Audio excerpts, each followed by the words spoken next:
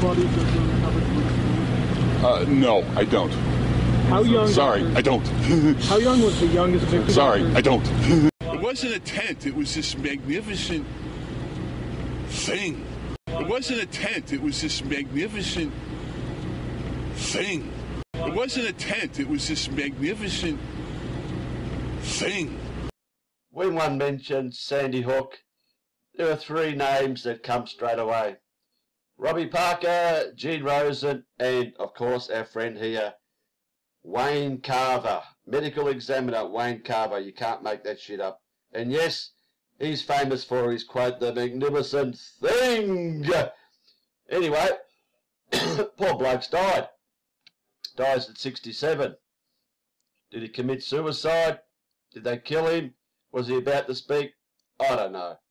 But reading this article here, you'd think it'd be all about what he did at Sandy Hook, because that was a pretty big event, wasn't it? So let's just read on here. Wayne Carver II, the former chief medical examiner who analysed forensic evidence in some of the state's most high-profile criminal cases, has died at the age of 67. During his career, Carver provided evidence that resulted in a conviction in the so-called wood chipper murder and described the Jew as how Martha Moxley, a 15-year-old Greenwich High School student, died after she was struck with a golf club and then stabbed through the neck with the broken shaft.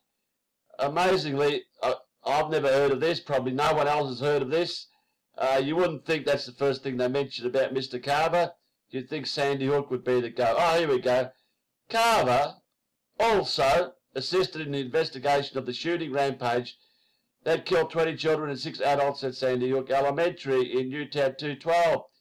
He performed the autopsy on the gunman as well as his victims, so that's pretty big.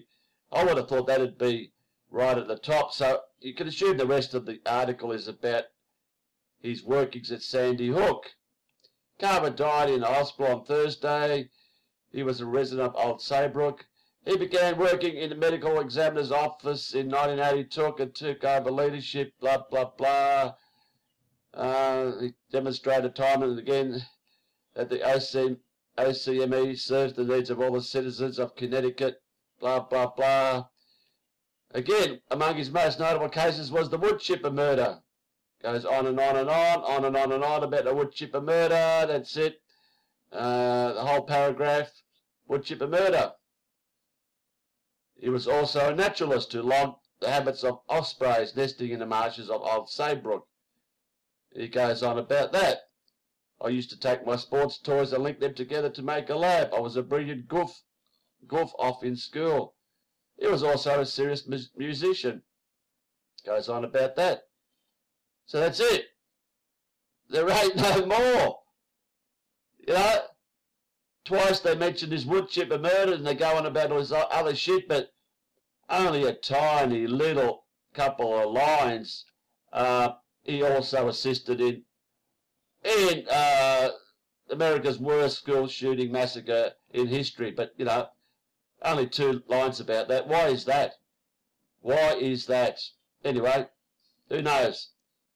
Probably still alive. Who knows? Did they kill him? Who knows what happened? Anyway, there's our friend, the magnificent thing.